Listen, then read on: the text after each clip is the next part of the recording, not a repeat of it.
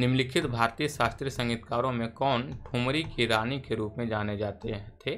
जिन्हें संगीत में उनके योगदान के लिए 2016 में पद्म विभूषण से सम्मानित किया गया था। ठुमरी की रानी किसे जाना, किसके नाम किसको मतलब कहा जाता था? ऑप्शन है, गिरजा देवी सुभा मुदगल, गायत्री शंकरन या रीता देवी।